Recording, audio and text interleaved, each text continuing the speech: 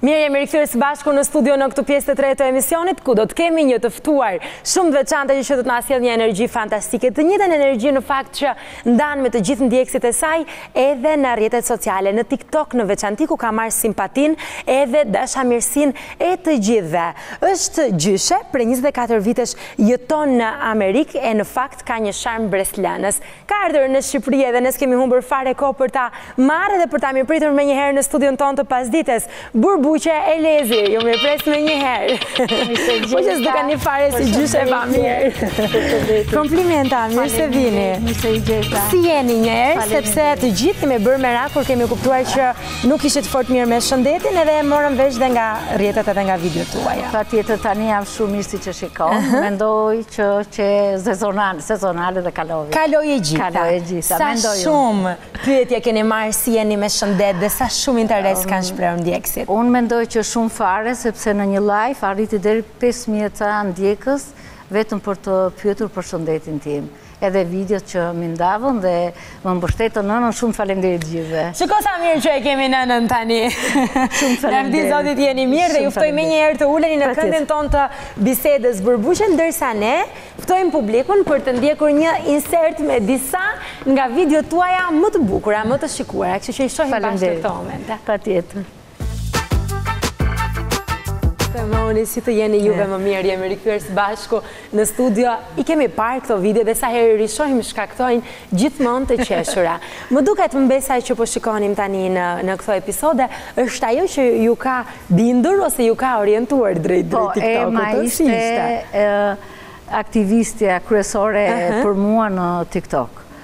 Faktikisht unë në periudhën që kemi hapur TikTok-un isha e sëmurë bëra hip replace, operova këmbën, qëlloi dhe pandemia dhe ishte periudhë e vështirë për të dalë përjashta.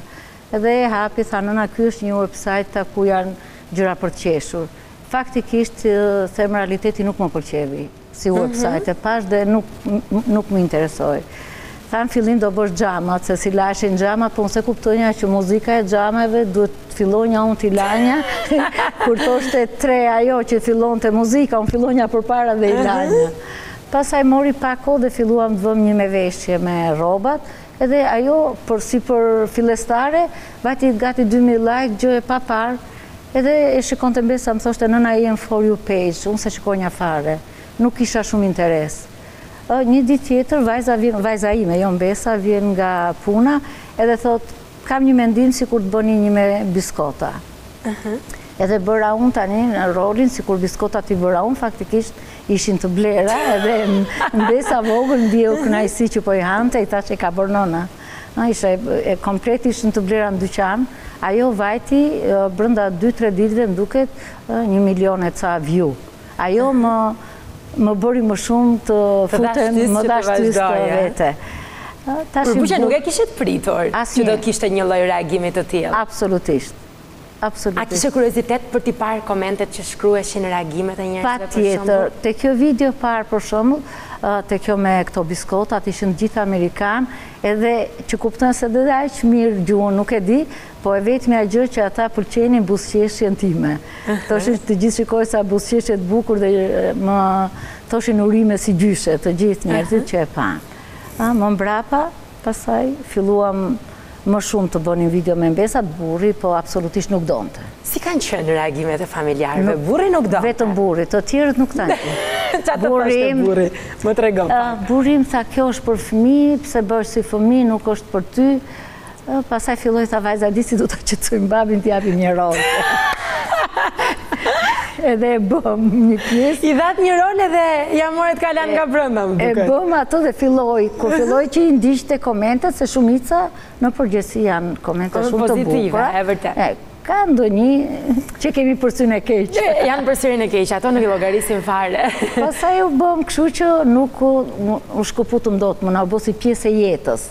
A realizoni videot çdo ditë tani? Për ditë. Për ditë? Për ditë. Sa kohë kalon me realizimin e videove, me TikTok? Është, ne faktikisht, ide ka dhe burri shumë idera, që i vinë janë momentale. Edhe video e gjitha merr, më e gjata një minutë. E vetmja gjë është ndonjëherë, më fal, se mos të ndërpreva që... Të vishem, të ndërrojmë, ose... Sepse do një çikë përkushtim, Dani. Do pak përkushtim, do pak. Edhe jam angazhuar dhe duket që e parë pse duke super në formë njërë. Edhe di, ato komplimentet që keni marrë për buzëqeshjen kanë qenë krejt me vend se reflektoni një mirësi edhe një energji fantastike. Dhe këtë duhet ta themi. Faleminderit. Perfekt, më thatë që burri nuk donte, arritët ta bindni, po. ta bindin edhe burrin duke e bërë pjesë, edhe kështu gati gjithë familja e angazhuar po. me TikTok-un, a? Të Vazhdoni, po. postoni. Për ditë. Përditë, e vetmja periudhë që u shkëputa, jo shumë pak kur më ra paraliza, mhm. edhe se u preka te video parë që doja t'ju thosha që jam e smur, unë kërkova që t'qesh, një sado pak, po gjysma e fytyrës ishte komplet e vdekur. S'mund të jepnja dot as buzëqeshjen, pastaj nga pak si filloi që të kthehej, edhe buzëqeshja po vinte, vazhdova. Ashtu siç ishte një sy dhe një pjesë e gojës, mendova që unë ndjeva mbështetje nga fansat. Rëndësi ka që tani jeni mirë. Faleminderit. Kjo është më e rëndësishmja nga të gjitha. Ne tani duam t'ju njohim pak më tepër për të gjithë publikun që Pa diskutim ju ndjek në rrjete sociale, ju do për atë që tregoni dhe që pasqyroni aty, me gjithë humorin që ju karakterizon edhe me marrjen e këtyre episodeve ndonjëherë edhe nga familjet shqiptare, ëh, se kur po ndiqja një video, po më thonë si vjerrat shqiptare ndonjëherë. Me çfarë merreni në Amerikë? Ju jeni larguar prej shumë vitesh apo jo? Unë kam njëzet e tre vjet në Amerikë, i kam, unë personalisht njëzet e tre vjet, fëmijët kanë ardhur pak më mbrapa, gjashtë muaj më mbrapa, unë nuk kam punuar në fillim, u smura, mua personalisht nga shëndeti nuk më eci. Mhm. Më ra paralizë, më pata cancer, bëra njërën këmë hip replacement, të dytën prap, kam dhe një vëlla dhe djalin e vëllait, janë të dy invalidë, të smurë, për të cilët unë jam kujdesur, janë totalisht invalidë, me një fjalë duan njeri që të kujdeset për ta, Ata vuajnë nga? Vuajnë nga skizofrenia, vllai dhe djali i vllait. Është një smundje shumë e rëndë. Prandaj ky TikToku, ndonjëherë mbushem, ndonjëherë zemrejme, ky TikToku mua më dha më shumë një pjesë që unë të kalonja një pjesë të jetës ku të gjenja pak, pak gëzim.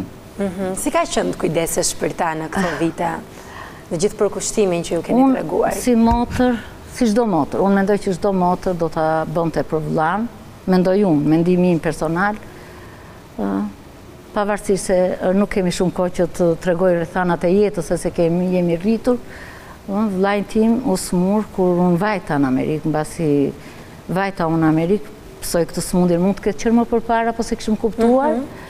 Edhe më mbrapa u smur dhe djali, po djali kur u bë tetëmbëdhjetë vjeç, djali i vëllait, që është e rëndë, nuk ia uroj askujt, jo këtë sëmundje, po as njeriut në botë, është është shumë punë e vështirë të kujdesesh për një të smur me me këtë me të tillë sëmundje, sepse duan gjithmonë njeri për ilaçet, për çdo gjë, për çdo gjë. Nuk janë të zotët, të bëjnë asgjë vetë. Ato janë vetëm me njëri-tjetrin dhe ju që kujdeseni? Po, patjetër që kujdesem. Bashkëshortja nuk është më?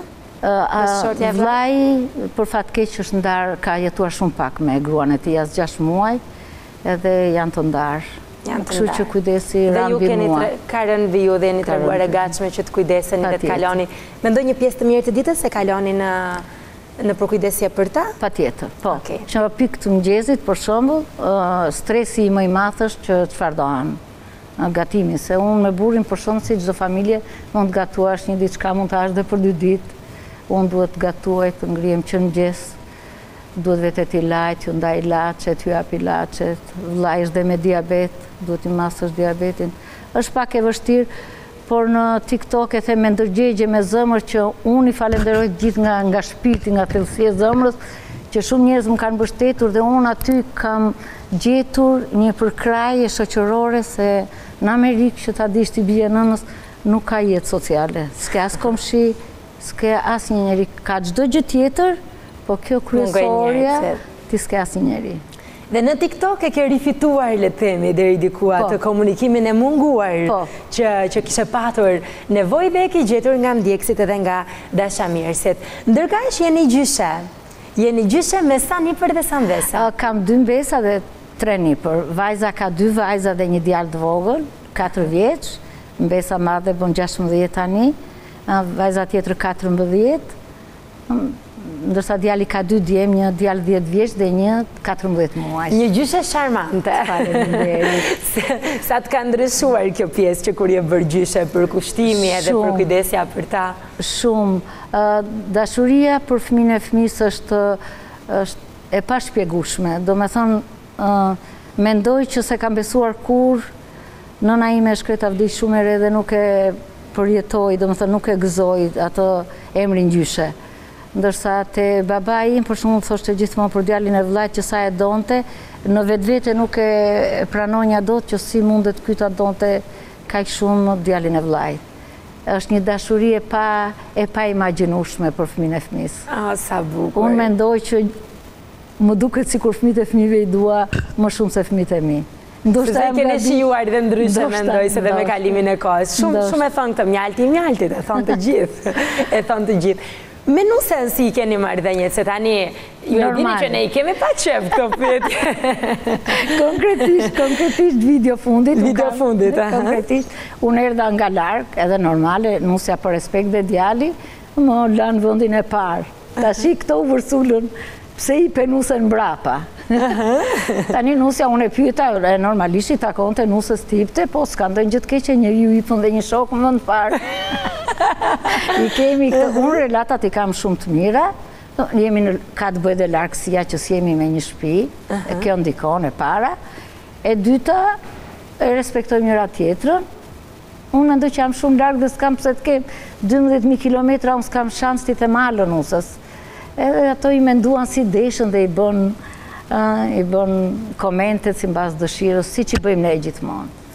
S'ka problem fare. Nuk mund të bëhemi kurrë gjithë në një mendje gjithmonë. Patjetër. Jo të gjithë dinë realisht si janë gjërat në realitet. Në realitet edhe një fjalë goje mund ta hedhin që të gjithë, por rëndësi ka që pjesa më e madhe Ju duan edhe kanë gjithmonë diçka të bukur edhe të mirë për të thënë dhe për të ndarë me juve. Patjetër. Çfarë ju risjell në Shqipëri herë pas here? Ju jeni nga Elbasani. Po, nga Elbasani. Unë tani konkretisht këtu kam djalin dhe nusën të cilët punojnë këtu. Punojnë këtu? Punojnë po në Shqipëri dhe përkohësisht do jenë këtu. Kanë pak vite këtu, do rrinë dhe pak. E para, kam ardhur dhe më përpara, edhe do vi më shumë tani që do dal dhe unë pension, se burri ka dalë. Më pëlqen, vendi im është shumë i bukur, pavarësisht se kemi pak, tash e them edhe xhelozi, këtë duhet ta pranojmë si komb, po prapë kemi atë dhembshurinë, ë, mendoj që, ë, më pëlqen jeta sociale këtu sa është e papaguar. Nuk paguhet. Jeta sociale e Shqipërisë është një terapi më vete. Pavarësisht se kemi ikur larg, ëh, shumë njerëz e mendojnë Amerika dhe e dinë kollaj, po ky vend nuk ka të paguar fare nga jeta sociale, vetëm të kishte pak se s'më takon politika, rrogën më të lartë, unë mendoj që këtu asnjë shqiptar nuk do lëvizte më nga ky vend. A do kishte dashur të riktheheshit në Shqipëri sërish? Patjetër. Për të jetuar këtu? Patjetër.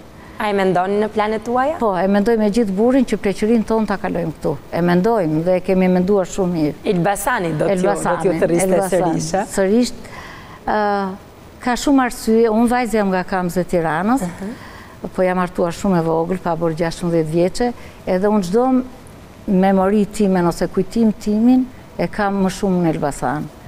Aty kam kaluar vitet më të bukura ose më të vështira bashkë, të bukura dhe të vështira të jetës time.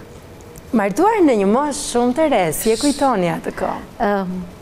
Unë mendoj se s'e kuptoj dot që isha fëmija, po më duket sikur kam lindur grua në jetën time, se s'e mbaj mënd fëmirinë. Mbani shumë pak nga fëmiria. Shumë pak dhe një fëmiri shumë të vështirë. Edhe më duket sikur kam lindur kështu e madhe, ëh, gjithë jetës time, sikur kam qenë grua gjithë jetën, pa asnjë memori fëmijërie, as lodra, as lojëra të loznja. Takimin me bashkëshortin tuaj, a e kujtoni herën e parë që jeni parë me njëri tjetrin? Po, e kujtoj. Unë Elbasan kam pasur, të thashë që kam pasur një fëmijëri shumë të hidhur, kam pasur nënën time në spitalin psikiatrik, edhe kishim një kushuri të babait, ë ku shkonim dhe flinim në kohën që shkonim vizitonim nënën bashkë me vllajnë ose ndonjëherë me motrën me këdo që t'isha edhe më ndalon burri po ishte dhe burri 19 vjeç edhe se është dhe për të qeshur edhe s'ishte se tani kanë ndryshuar gjërat gocë a ka mundësi një minutë unë u shkallova ishte dhe i pashëm dhe ti fëmi do të martoj nejse folëm dhe pak të tjera i thashë kam nënën në spital Edhe... Iu përgjigje menjëherë. Jo të nesërmen vajta prapë te spitali dhe në mbasdite më mori, tha do vemi te mamaja dhe vajtëm te vjehrra. Ditën e dytë që të pa, ditën e dytë të çoi te... Te vjehrra ime. Te vjehrra juaj. Te vjehrra ime. Dhe vajtët?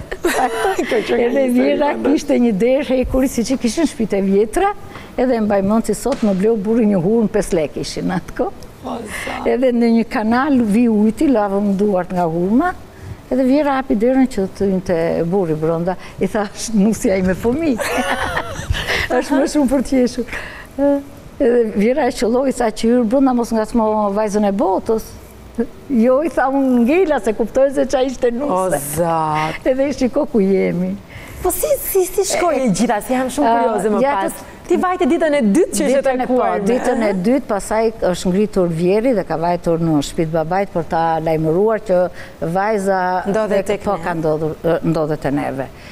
Tani si fillim ti e di si për t'martuar, si të ndërtosh një shpi me me thupra. Se të martosh dy fëmi, ti e kupton... Dhe realisht menduan që t'ju bënin martesën po, menjëherë. Po, Se kështu ishte atere që të rëmbeu tani ti ishe grua e martuar. Ishe grua e martuar. E njifje s'e njifje të njifte s'të njifte, u bëm për. Dhe filloi jetesa juaj. Filloi jetesa jonë. Këtë po të them, të ngritur shtëpi me thupra, po në fund i themi njëri-tjetrit tani që jemi pleqë, ah shtëpinë e mbajtëm dhe fëmijët i rritëm. Me, me, ashtu siç ishim, si, si dy fëmijë. Si do ta përkufizonit martesën tuaj? Kur mendon gjithë ato vite. Po t'isha dhe njëherë e re, për shëmbull, unë po t'isha dhe t'kisha kushtet, t'isha rritur dhe ndryshe. E vetmja gjë që kam pishman jetën time shkolla. Po jam e lumtur, kur e pashë jetën, i pashë frytet, gëzimi i tërë jetës time kanë qënë fëmijët e mi, asgjë tjetër. Në të gjithë këtë jetë, kaq të gjatë, lumturia e jetës time kanë qenë vetëm fëmijët e mi. Sa bukur që e dëgjojmë, që e dëgjojmë këtë edhe ju kam dëgjuar me shumë kënaqësi në fakt gjatë gjithë intervistës. A kemi ndonjë video të re dhe të bukur që jeni duke pritur për ta publikuar për ndjekësit në vazhdim? Tani tjetër do bëjmë po me nusën e kemi lënë, edhe me nipin do bëjmë një video për po të tregoj pak, se është një që Na pyesin për shembull ku i gjen të ardhurat që ti jeton me këtë luks. Edhe do ta bëjmë bashkë me nipin, s'dua ta tregoj të gjithën. Kaq do të tregoj. Do të jetë video të bëra në Shqipëri. Edhe një me po të bëra në Shqipëri do. Të bëra në Shqipëri për të promovuar pak edhe edhe po, Shqipërinë tonë. Patjetër, patjetër. Të bukur. Kur riktheheni në Amerikë? Unë faktikisht do rri pak gjatë, me që është dhe djali me nuse. Edhe mendoj që nga Para se të fillojë dimri. Sa mirë. Ju uroj qëndrim sa më të mbarë këtu. Shumë të faleminderit. Kaloni një sezon të bukur, të keni shëndet mbi të gjitha. Shumë të faleminderit. Dhe vetëm bekime në në familjen tuaj të madhe dhe të bukur. Të faleminderit. Je shumë e bukur. Shumë të faleminderit për ftesën. Shumë. Kënaqësia e gjitha jona që ju kishim në studion tonë të pasdites, duke ju falënderuar të gjithë juve që na keni ndjekur deri më tani. Bashkë do të ndajemi këtu për t'u parë në vazhdim në orën tetëmbëdhjetë nesër. Mirupafshim të gjithëve.